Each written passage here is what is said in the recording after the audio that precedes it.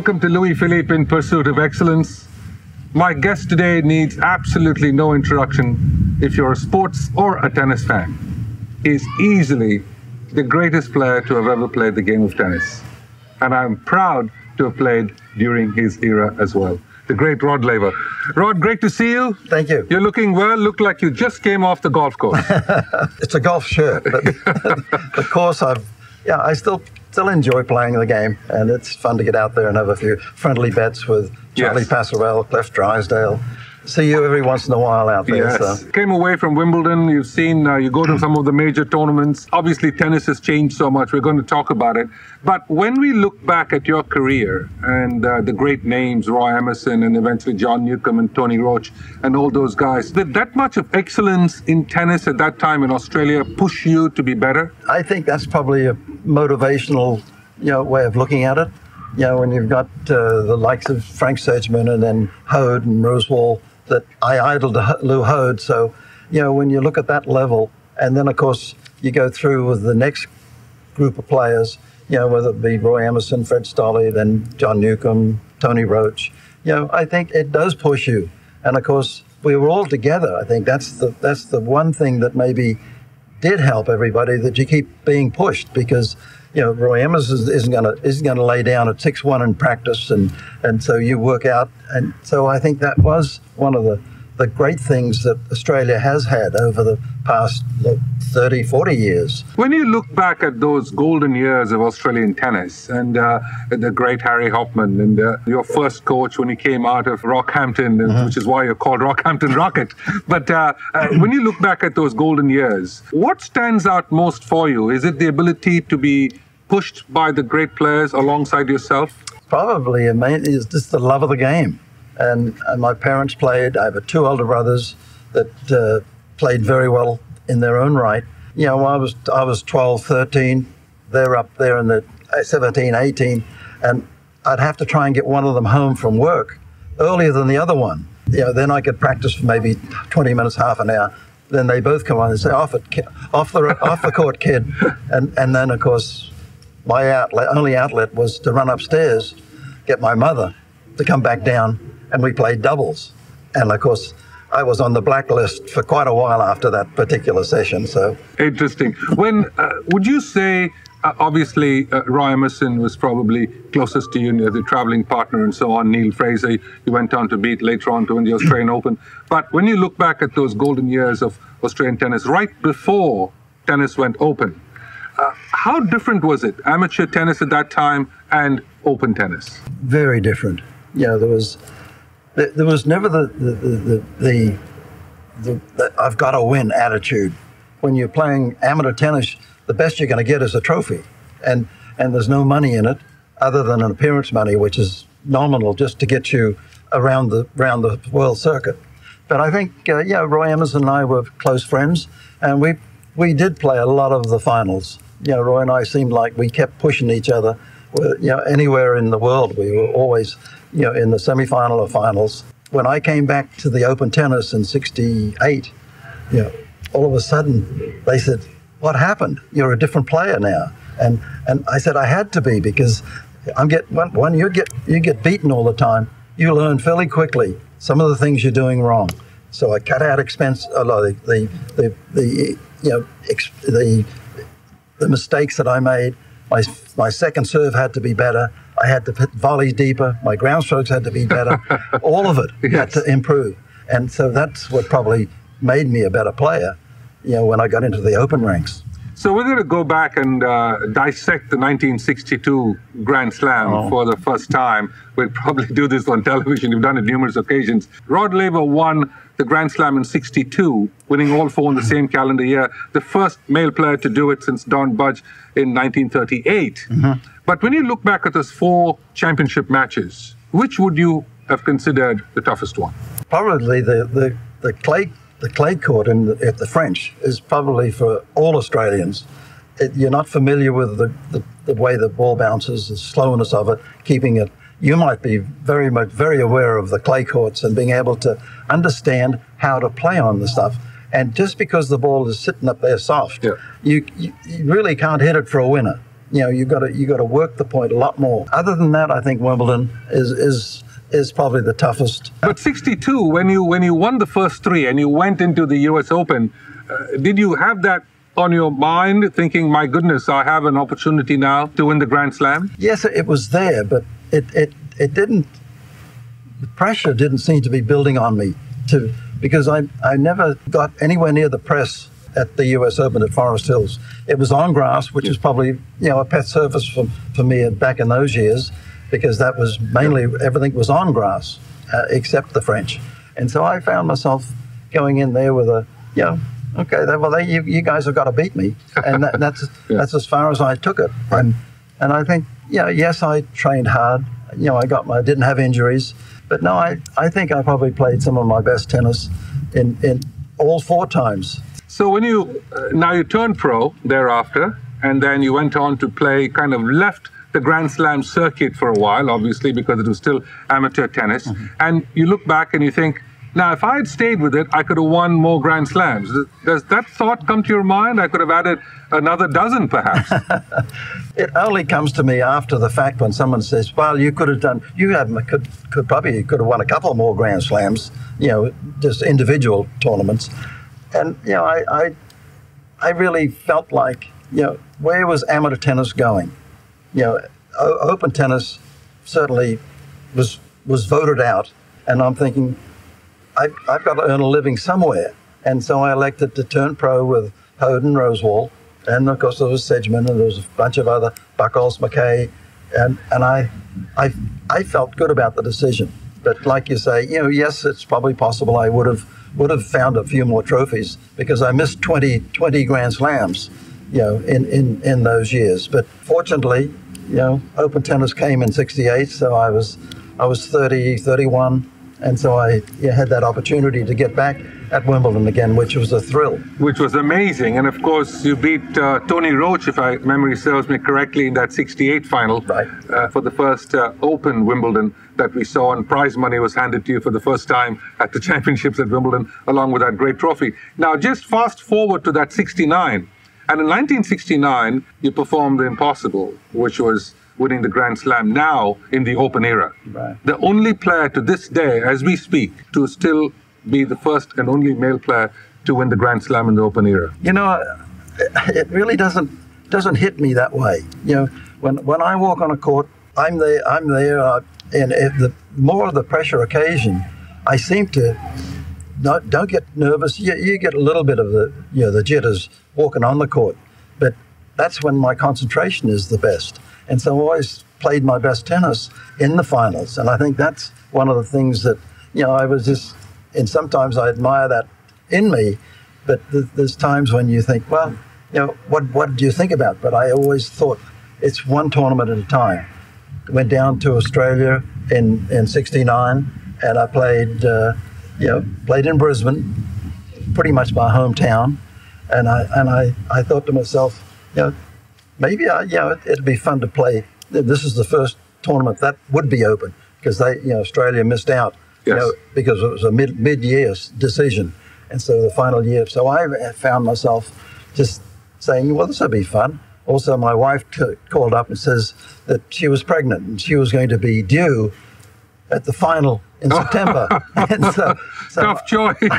so it, it, you know, it was sort of a combination of yes. things, but it was purely, you know, yes, I did it in '62, but in '69, it was open and and it, it, it, it, well, just see how I go.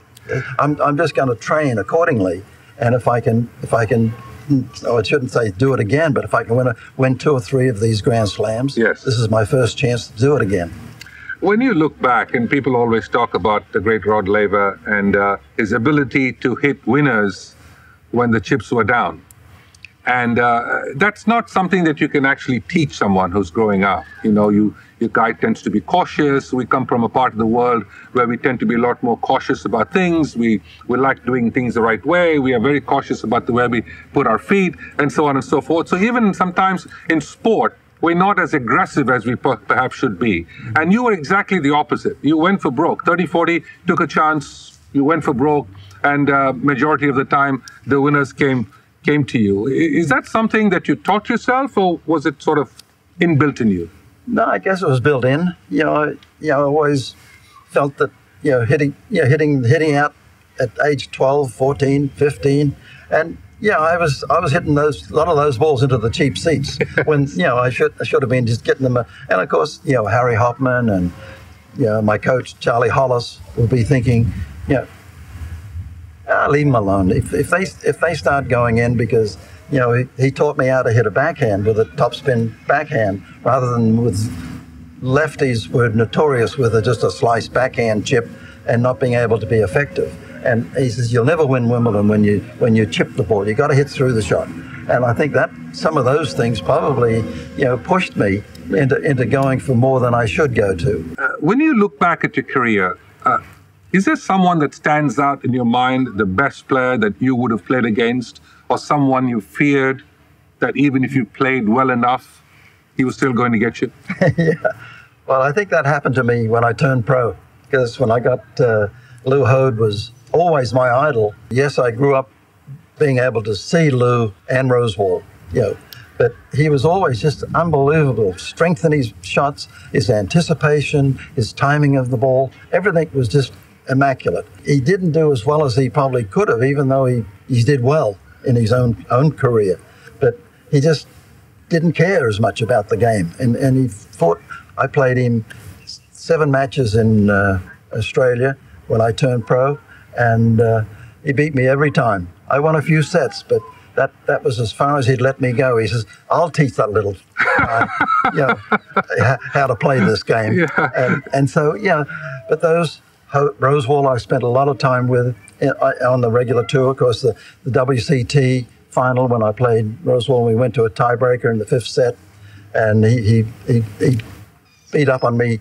You know, I wouldn't say beat up on me, but he he won it. Went down to the last, went down to the wire. If you all remember that match, those of you who are too young to remember that match, way back in 1971 and 72, they played each other in the final of the World Championship tennis final there in uh, five sets and went down to the last couple of points in the tiebreaker, Laver and Rosewall. Why do those matches go down as probably the arguably the greatest matches that were played? Purely the tension, and I know, today's players, it's a it's a different world out there. But with little wooden headed rackets, you know, you you, you, you, you can't do the things that were easy to do, you know, with a metal racket. So, you know, I think I, you know, I think we we had we had great matches, but you know, it was it was a, it was a slow game. You know, it was a slower game. Yes, I was trying to hit out a lot more because I always wanted the ball deeper. That was where I was going. But I, you know, I made a lot of mistakes doing that. But uh, yeah, but it was it was a good match, and you know, yes, I was disappointed in not being able to win that, getting so close. But you know, I congratulate Kenny. He's an unbelievable tennis player. Hoad and Gonzalez, two of the finest you've seen.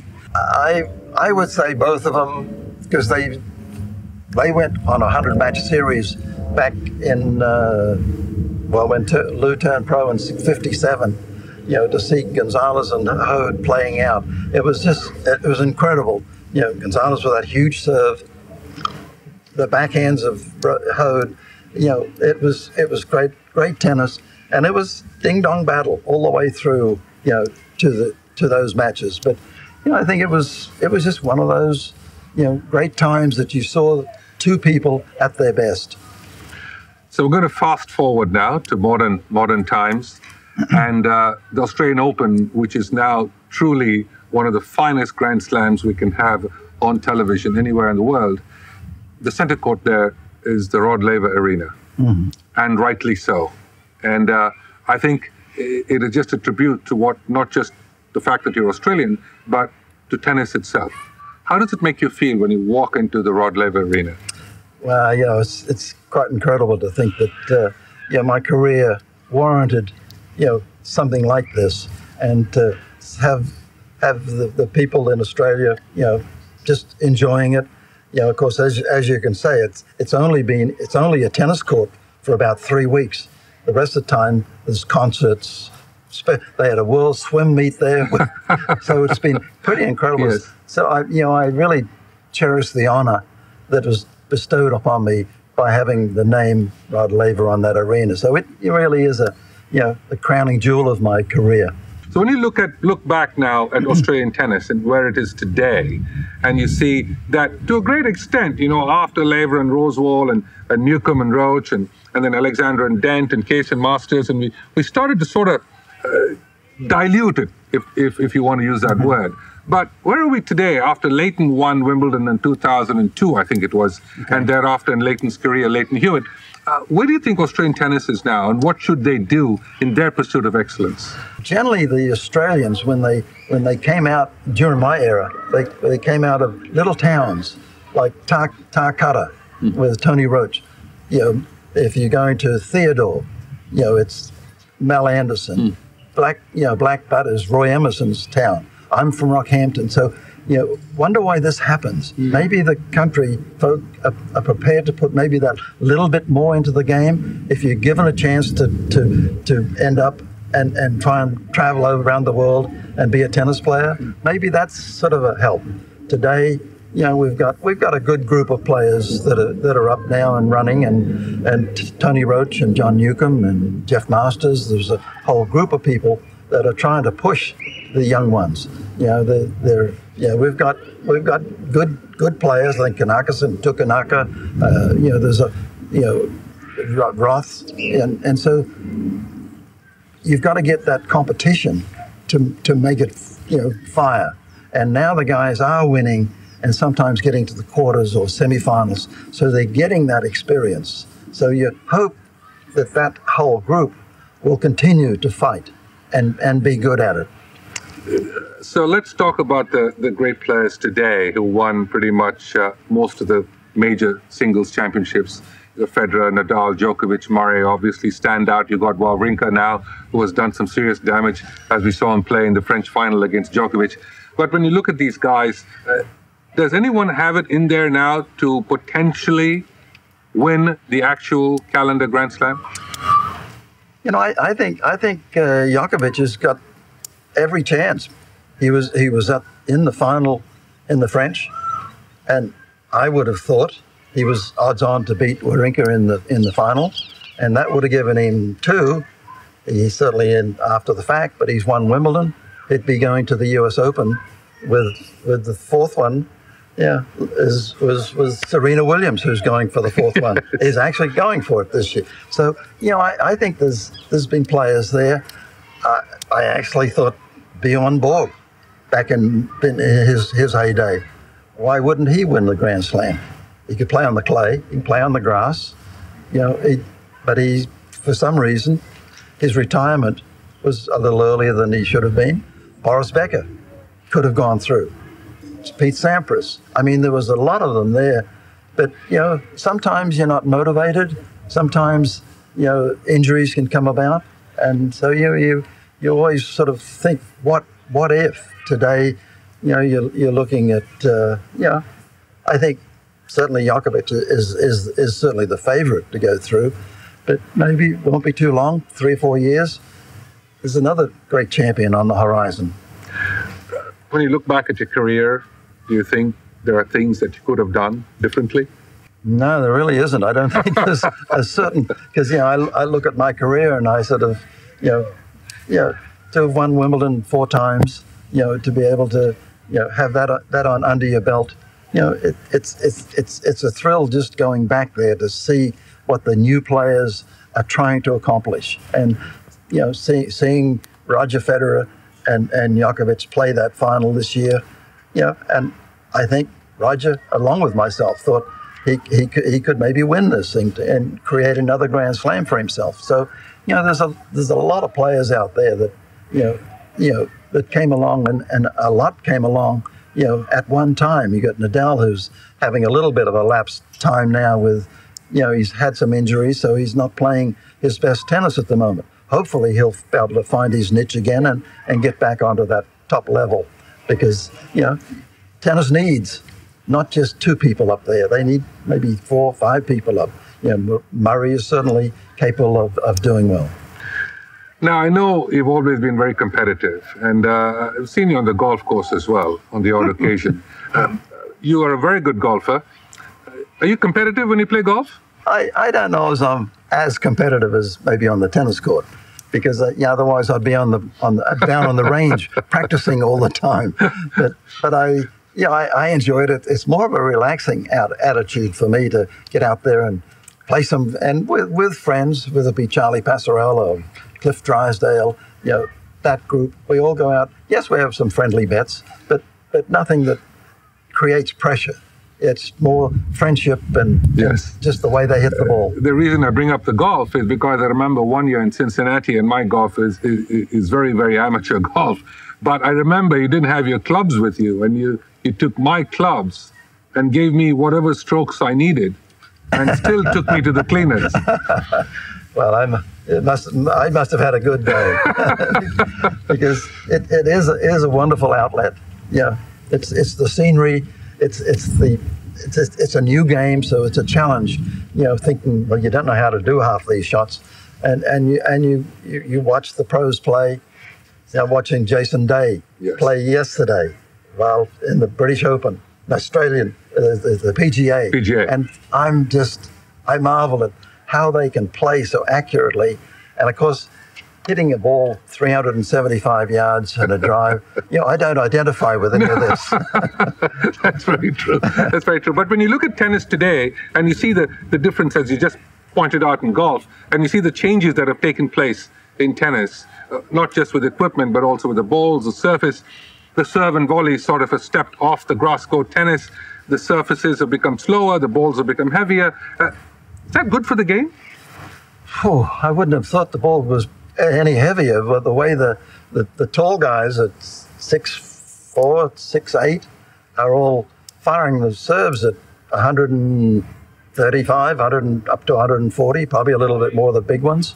But yeah, it's it, it's unbelievable that the amount of quality players that are, that are actually on the circuit as of today, and and you can go down that list yeah. to to 40, and any one of them could win the tournament.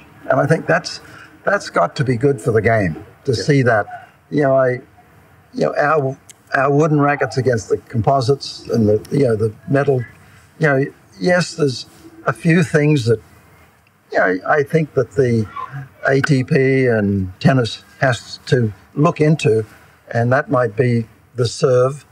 How do you, how do you take control of the serve so it becomes more of a game rather than the big serves? Because Isner if I played him on the, he served to me on the second court, and with the bounce that he's got on the ball, it goes over my ten, my foot, my head by ten feet.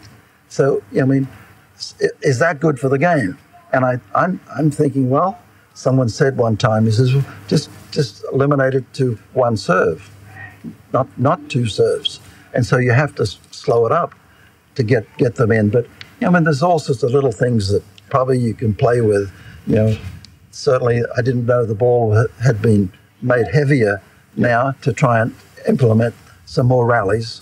And, you know, of course, the, the variety of play over the, you know, the wooden element with all the players that we I was with, and then you see today's players, there's very little drop shots. It's generally it's serve and just weight, heavy ground strokes, not much serve and volley. I know Federer was certainly trying to change that so he could he could learn learn the volleying game, which he did. Final two questions, Rocket. Um, what do you enjoy doing most now as you go from tournament to tournament, do some appearances, play golf? But what does Rocket like to do now? Look back at his career, of course, see the guys playing today. But what do you enjoy? I still enjoy watching the watching the game. Yeah, that's especially if I go to Wimbledon. You know, I don't go sit somewhere and and say, well, yeah, I'll, I'll be at somewhere for lunch or dinner or whatever. I, I just, if I'm in the, in the Royal, invited to the Royal Box, I spend there all afternoon and watch every match that's on there, whether it be men, women, and, and I think to me that's that's a good that's a good day. But when you when you're looking at you know, your your career and you know, it's it's it, it's nice to look back and and know that yes, I was out there one time, and you know enjoy, enjoyed that element. But it is, you know, I've got a, a son that's here, but I think the real you know, person is my granddaughter is 14, and she's a, a soccer player. She's the goalie, and is, you know, it's just a thrill to be around And so I go to a lot of her games, and I think that's that's sort of a thrill. In later later life, you see that that that creeps into your game, and then all of a sudden, you know, you're looking forward to that Saturday when they're playing soccer. So I guess I, maybe I'm I'm old hat, but I just like the family atmosphere. That's absolutely brilliant. Uh, if you had to pick one aspect or two aspects in, in someone's pursuit of excellence, what would you sort of put your finger on? If it's if it's not a body, it's what you do. I think you know it, it's it's the presence that you you you you leave somebody. You know, if you leave this world, and you said, "This is what I've done," you know, I'm proud of what I've done, and I think that should be the same for everybody. Is that you know, don't leave anything left on the table. Just you know, do what you can, enjoy what you do, and the main thing is to enjoy life. That's so very true. I always say I was very fortunate to have played during the era of the great Rod Laver. And to me, that was a real blessing to have played during your time.